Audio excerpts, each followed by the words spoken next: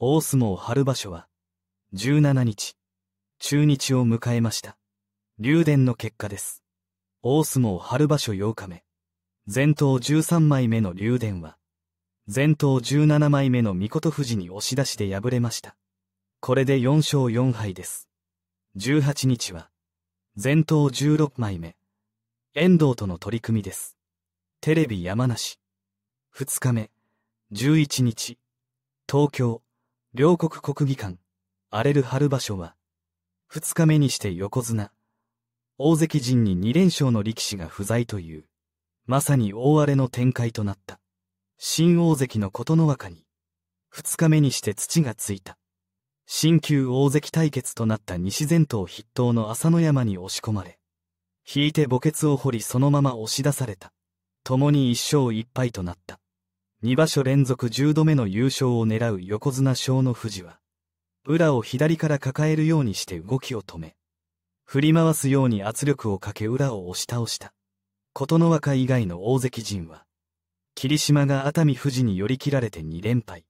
角番の貴景勝も、帰り三役の小結を押し込みながら、逆転の上手投げを食い初黒星を喫した。は自身三役では初めての連勝スタート。宝生流は帰り三役の小結錦木を寄り切って、大関陣全滅を回避する今場所初白星を挙げた。番付を西前頭5枚目に10枚上げた入幕2場所目の大野里は、豪の山に解消。初土俵から所要9場所と史上最速タイのスピード出世で新入幕を果たした東前頭17枚目の御事富士は、日大の9学年先輩の遠藤と対戦。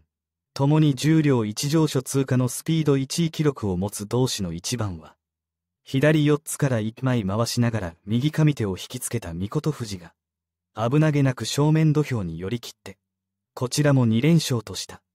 日本相撲協会審判部は8日、レディオンアリーナ大阪で取り組み編成会議を開催し、大相撲春場所の初日と2日目の取り組みを決定。横綱小の富士は2日目の幕内で裏と対戦。琴ノ若は朝乃山と好カード組む。霧島は熱海富士。宝生龍は錦木。貴景勝はと対戦。大野里は豪の山と。御事富士は遠藤と一番。2日目の幕内取り組みは以下の通り。日本相撲協会は8日、大相撲春場所の取り組み編成会議を開き、初日の幕内と重量、2日目の幕内の取り組みを発表した。連覇を狙う横綱、小野富士や、新大関、琴ノ若、角番でご当所場所を迎える大関、貴景勝など見どころの多い春場所。初日から注目の取り組みが多数組まれた。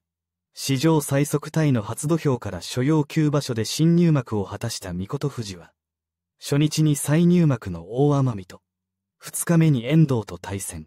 期待の新星が、初日から2日続けて日大の大先輩に挑んでいく。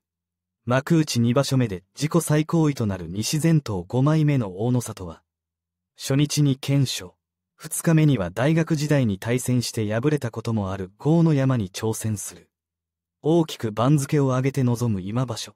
どこまで通用するか注目が集まる。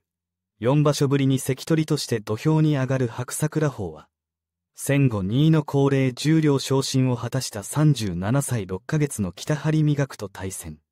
17歳差の最重量対決が初日に組まれた。重量、白熊は初日に白鷹山と対戦。初日の取り組みは以下の通り。日本相撲協会審判部は8日、レディオンアリーナ大阪で取り組み編成会議を開き、大相撲春場所の初日と2日目の取り組みを決定。横綱小の富士は帰り三役の小結錦木と対戦。琴ノ若は新大関として西前頭2枚目の熱海富士と戦う。他の大関たちはそれぞれ対戦相手が決定した。入幕2場所目の大野里は剣翔と、新入幕の御事富士は大奄美戦が組まれた。休場者はおらず、初日の取り組みは重量14番と幕内21番が組まれた。